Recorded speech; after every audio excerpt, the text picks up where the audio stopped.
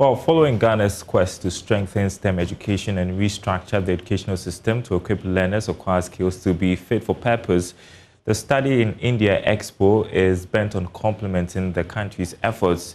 According to founder of Perea Africa Foundation, Salai Manikam, the knowledge and capacities of young people should be developed through proper education. She spoke to Joy Business at the Study in India Expo.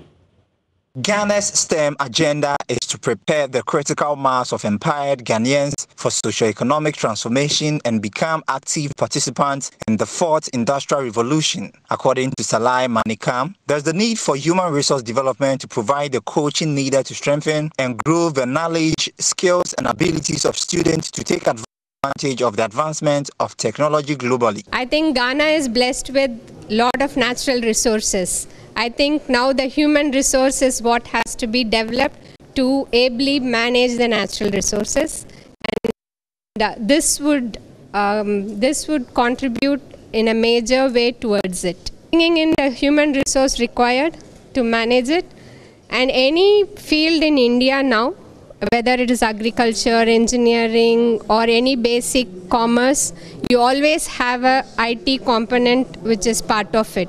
So any student goes for any faculty, comes back with the IT um, upgradation.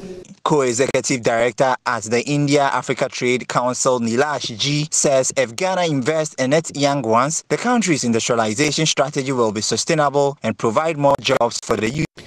Well, what India has learned many years back is to put industries in place, to get uh, technology in place, and I'm sure Ghana is also developing, and our government is putting good initiatives in place. So definitely, it could be a good opportunity for everybody in the future. By by setting up industries here, by definitely setting up industries and doing the research and development here gradually, if you have good students coming, learning and coming from there, they can do a lot of R&D here also. In future, Ghana could become a hub in Africa for uh, pharmaceutical products. Not only pharmaceuticals, into industry, into trade, into a lot of other issues. So we are looking forward to Ghana being a superpower in Africa definitely.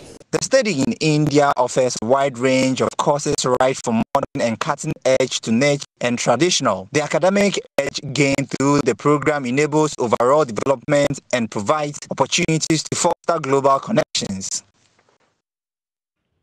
That's all for now. Uh, more news on our website, myjoyonline.com forward slash business. Sports is coming up next.